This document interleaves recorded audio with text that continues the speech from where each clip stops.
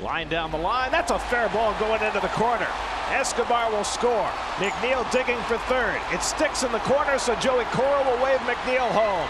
A two-run double for Tomas Nido.